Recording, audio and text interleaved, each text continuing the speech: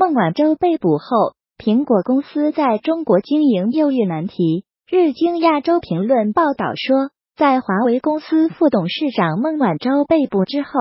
有中国公司鼓励员工购买华为的手机，这使苹果公司在中国的经营遭遇新的难题。图为二零一八年九月二十一日，英国伦敦的一家苹果商店展示 iPhone XS Max 和 iPhone XS 手机 Jack Taylor 在美洲贸易战开打之后，在中国经营。包括苹果公司在内的许多外资企业受到影响。现有消息传出，在华为公司副董事长孟晚舟于加拿大被捕之后，苹果在中国的经营又遇到另一个难题。据日经亚洲评论 （Nikkei Asian Review） 报道，在孟晚舟被逮捕之后，有越来越多中国公司鼓励员工购买华为的手机，以表达对该公司的支持。很多中国公司告诉员工说，如果他们购买华为的手机来帮助该公司，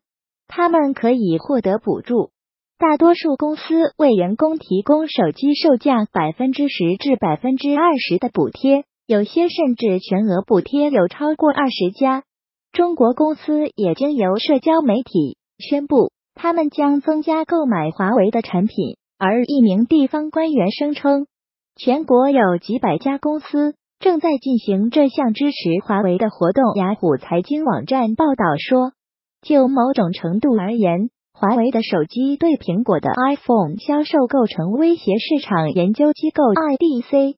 的资料显示，华为在中国手机市场的占有率从二零一六年的百分之十六点四成长至二零一七年的百分之二十点四。相较之下，苹果的占有率则在同期从百分之九点六减少至百分之九点三。为了因应华为既有的挑战与孟晚舟事件衍生的新难题，苹果除了在短期推出 iPhone XS 和 iPhone X 二等新产品的促销活动之外，该公司成功的最佳机会应该是确保其开发的产品能让消费者愿意以高价购买。然而，由于华为被指控与中共军方有关系，而且涉嫌利用其产品搜集情报，有越来越多国家宣布禁用该公司产品。该公司现在所面临的经营问题，恐怕会比苹果的难题还棘手。